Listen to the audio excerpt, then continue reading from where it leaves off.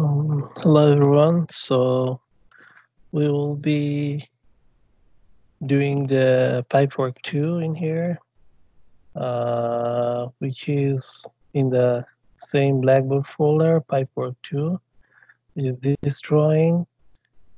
Let me see if I can make it bigger.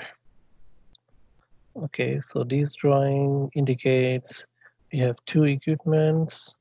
Uh, one is 1101 and 3 and another one is 1301 and the nozzle is N1. So the direction is from 1101 N3 towards uh, 1301 N1. So this is my head, this is my tail. Okay, this is my branch connection. So this is just one a single branch connection. And as you can see, the pipe diameter is not given anywhere. So uh, what we can see from here is uh, like this is a straight pipe. We have the three components. Uh, so we have this 90 degree elbow, another 90 degree elbow, and another 90 degree elbow. And whenever there is nozzle, there should be a gasket and flange. So flanges, like uh, in the previous pipework one, the flange and gasket we didn't create, it was automatically generated. But here, um, uh, like sometimes it doesn't work because uh, the pipe specification uh, you selected from the library and the nozzle, if those two doesn't match, the flange doesn't automatically generate. So you just have to create it at that time. But anyways, uh, this is not not that issue for this uh, classwork. So let me add these two equipment. So 1101 and 1301. So let me just remove the previous equipment. So this is a blank uh, site. So what we will do is uh, we will uh, create a site.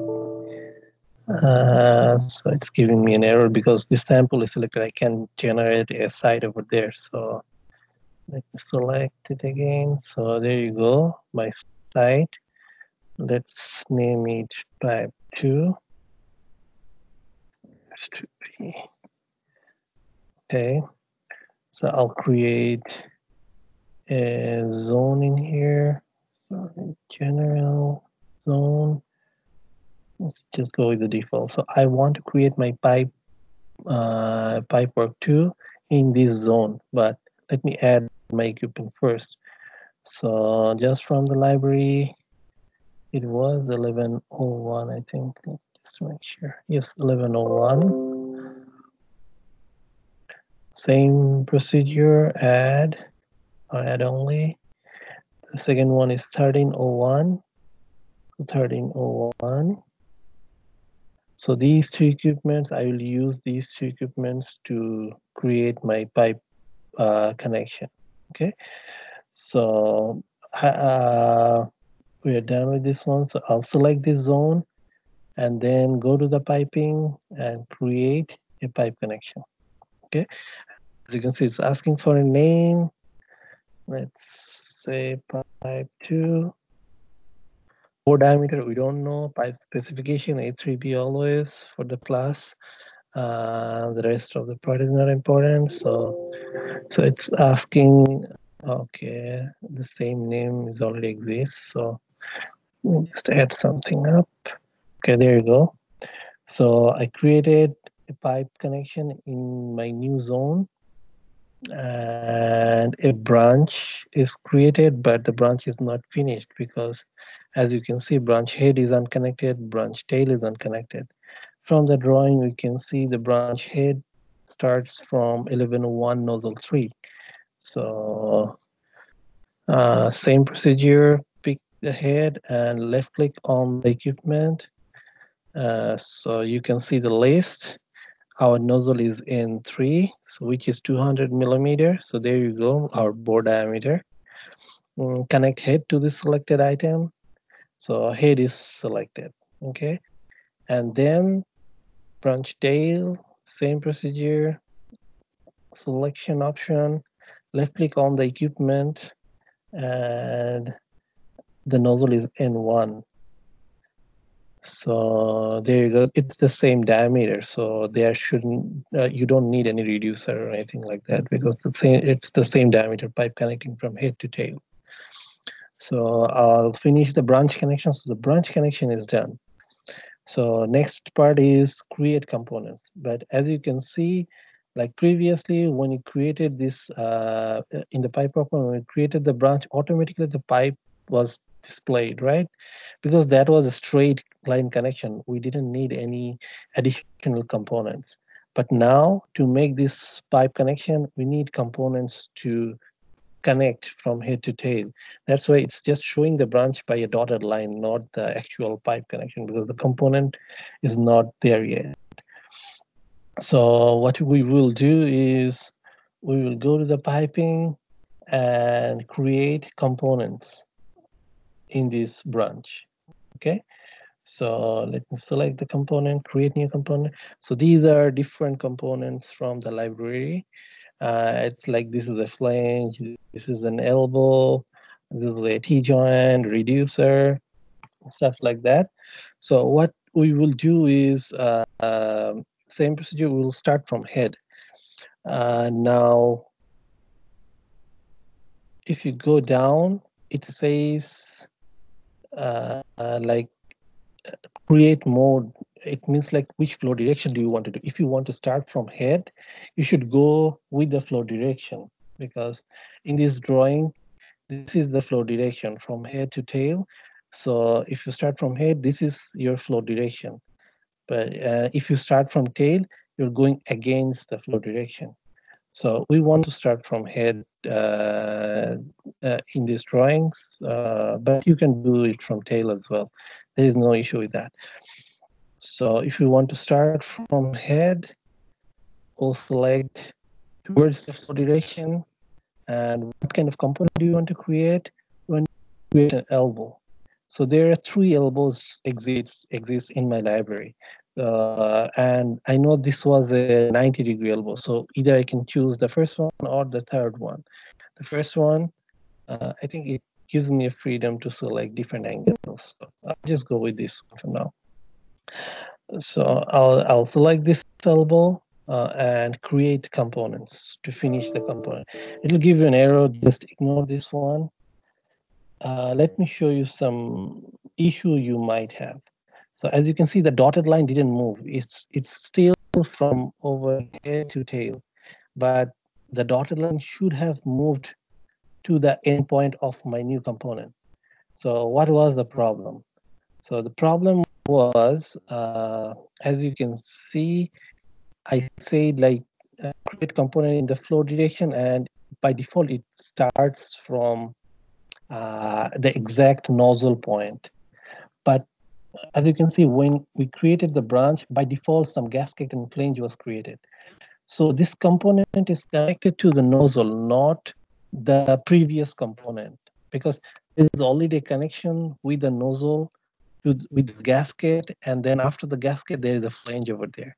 So after the flange, elbow should come in, but the problem is elbow is also connected to the nozzle. So it's overlapping this gasket and flange, and that's why the connection didn't move connection should have moved over there. So how do you fix it? Because this is not the right way because, uh, to do the piping. Uh, let me redo it again. So which flange is it? I don't know. Okay. So what we can do is select the gasket. As you can see, it's uh, the name displays. So it's if I say flange two, nothing does. Flange one, as you can see, the flange pops up. So my flange one is actually at the head. Uh, we can identify it this way. So my uh, elbow should come after the flange one. So I'll select the flange and then create the component. Uh, then create this elbow component. So let me do it again. And as you can see, the dotted line moved at the end part of the elbow. So this is working fine. This is how it should be. All right, let me go back to the drawing. So the elbow is uh, more like directing to the downward direction, okay? But my elbow is uh, to the right direction. So how do you modify this one? So select this elbow And then as you can see here, there is a modify option, not the new component, but the modify component option. So once you go to the modify, it says the uh, this is a be careful of this one. Everyone makes mistake in here. So it says changes to forward mode. Right now it's in backward mode. Like if you create a component it will create it at the head part of this component like if you create another elbow after this it will create it inside the equipment or inside the nozzle because it's in the uh, backward mode right now so make sure if you're working from head, make sure it's in the forward uh, mode. Okay. If you're starting from tail, make sure it's in the backward mode. All right. So after uh, doing the selection, I just want to make it downward. So I'll make it downward. There you go.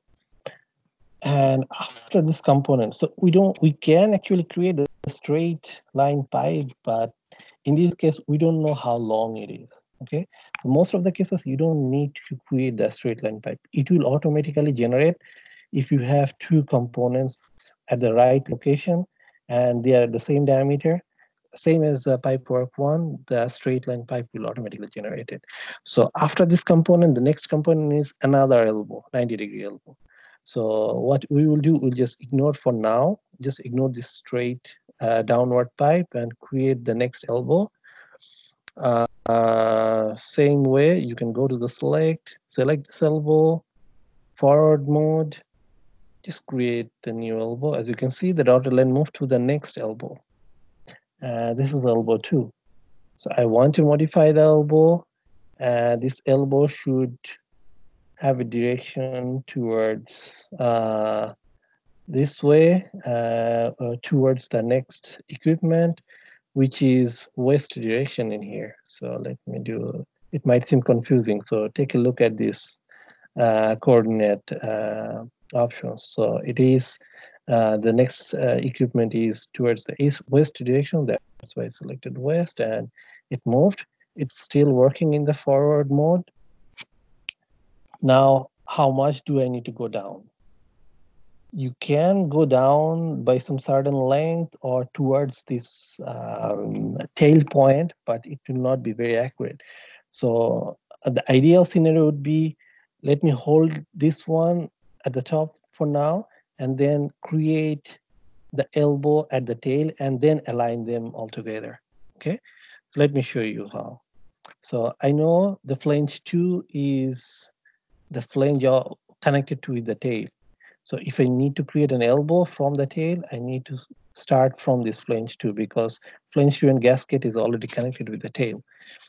And, uh, okay, and uh, the same thing, the direction should be now against the flow, right? Because we're starting from tail. Against the flow, select this elbow, the same type of elbow, um, creating an uh, elbow. As you can see, the dotted line maybe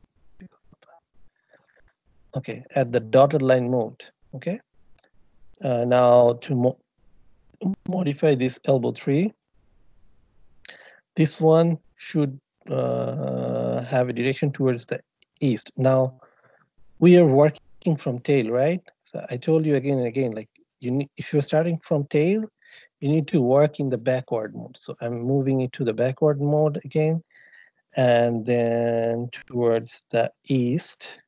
There you go. Now it's in the right direction. So I'll go back to elbow two and I, I will do a trick here. So I'll do go to the elbow two and start working in the forward mode.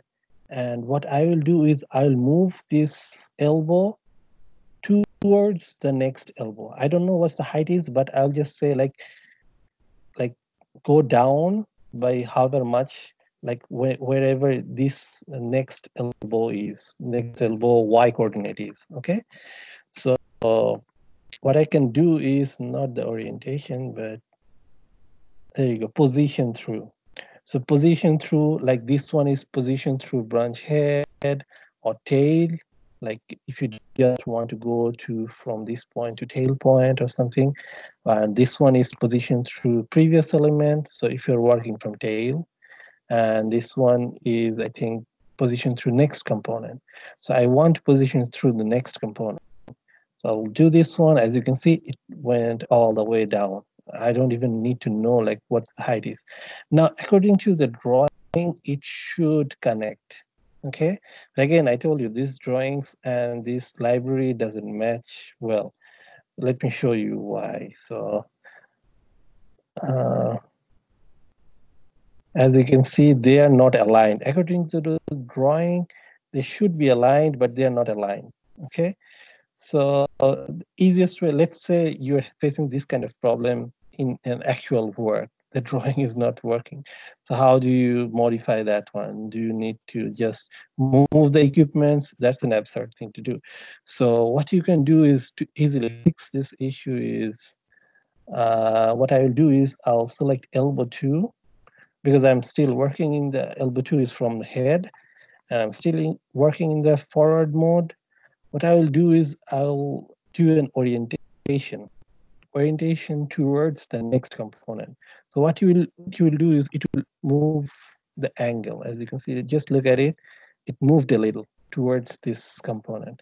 And now I'll select elbow three because I need to move this one as well because they are not aligned yet. And working in the backward mode and not the next, I want to align with the previous. So isn't there anything? Okay, let's do this one. Yeah, align with the next because we are working in the reverse direction. That is the next one. So whenever they are aligned, the straight line pipe is automatically generated and there you go, my pipeline. Okay. That's it.